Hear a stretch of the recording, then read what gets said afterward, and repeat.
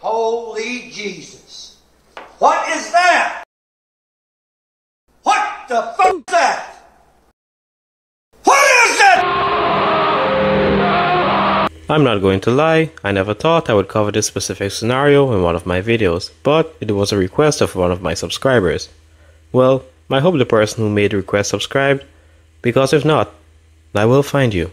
And I will. So in this video I'm going to discuss whether or not Spinosaurus could survive in the Everglades or not.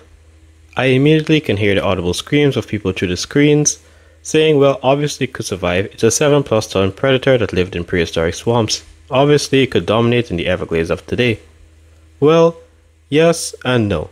There are different factors that decide whether or not an organism can strive in an environment. Yes, being a dominant predator is one of them, but so is temperature, prey selection, and adaptability, which is theorized to be one of the major downfalls of the Spinosaurus. So, quick history lesson. Spinosaurus was one of the big theropods, with it now being placed at rank number 5 after being overthrown by Microkensis and Mapusaurus.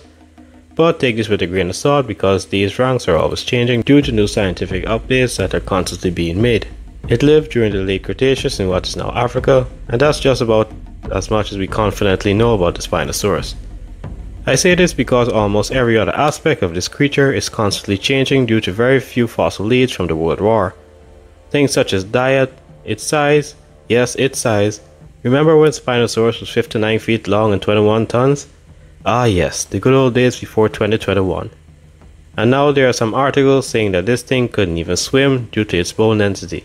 But as it stands, majority of the research at least supports that it was mostly a piscivore that fed on the occasional small to medium sized dinosaur when the opportunity presented itself, basically acting like modern day crocodilians in terms of hunting behavior, so wading in the water or just submerged.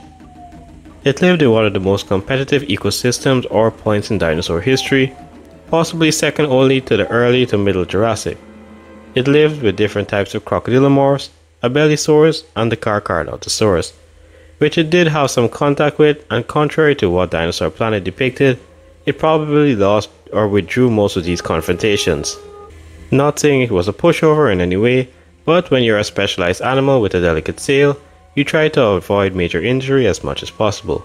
Its speciality is also what led to its downfall, as the climate changed and its prey source died or migrated elsewhere to deeper water, it couldn't adapt fast enough and so it became extinct. Now that the recap is over, what would happen if God decided to give it a part 2 and drop it into the Everglades? There are two species of Spinosaurus being the aegyptiacus and the maroccanus, with the first being the larger of the two, so we're going to use that one.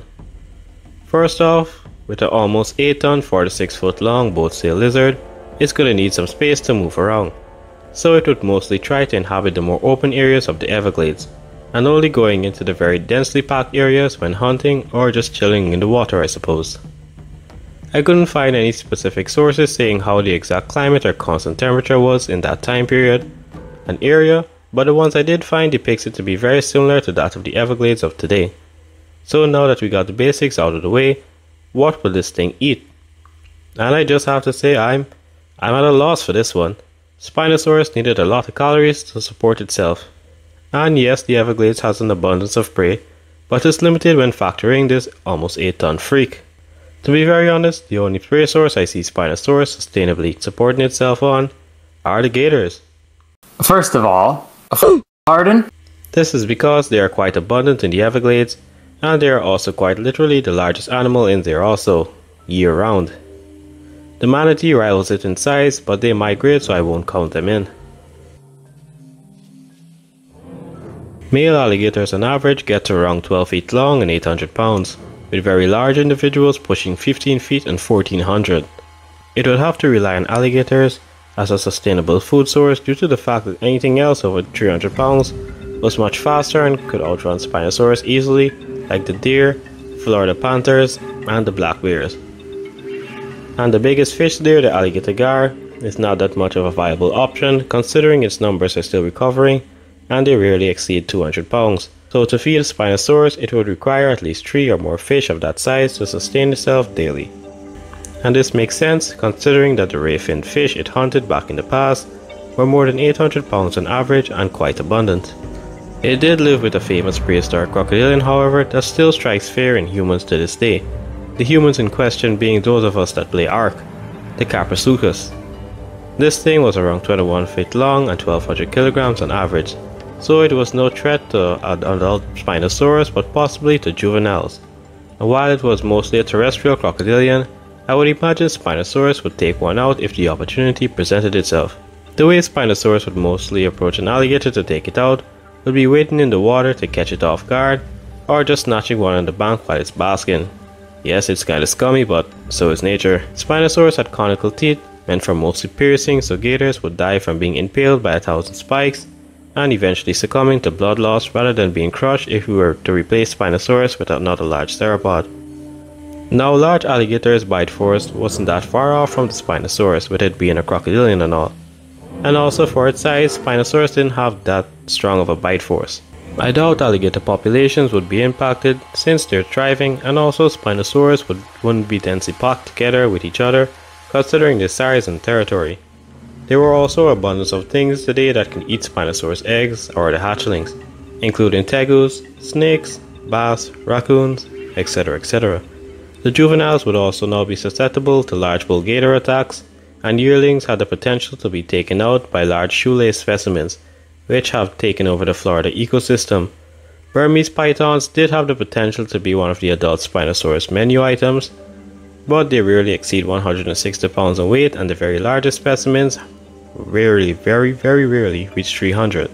Juvenile Spinosaurus, however, could thrive considering the prey that would be too small for them as an adult would now be more acceptable for their size. So with all of this in mind, could Spinosaurus survive the Everglades? I, I don't know, like I'm really not sure what answer to give. I would say it would be possible for a small population to establish itself in the Everglades, and while I don't think alligator populations would be affected that much, it would still cause a rift effect since alligators are one of the few animals capable of checking python populations, which they are still barely making a dent in and they are also the key predator to other animals in the ecosystem, so this has the possibility to throw the entire area off course. Also, with how constantly Earth's climate is changing and how this species is known to not be that adaptable, it would be challenging keeping populations alive for a long time. And I still am not sure if they would even actively hunt alligators to be honest. That's just my theory, since there is literally nothing else in the environment that is large enough in size or population to support it. For all we know, it may choose not to eat the gators and just starve to death. But let's be honest, the main reason it probably won't survive is due to the Florida man, which has a reputation of, well, um, enforcing his power to put it lightly. But in all seriousness, with the exclusion of human intervention, I'm leaning mostly towards that it probably won't thrive in the Everglades. But what do you guys think? Could this constantly changing menace survive the Everglades? Also, I'm not only going to cover could this survive in today and etc etc videos, since I want to diversify my content. But I will take some requests into consideration like this one, and I will work on some of my own that I've had for a while. So, with that being said, Reggie, where are my rice nickels?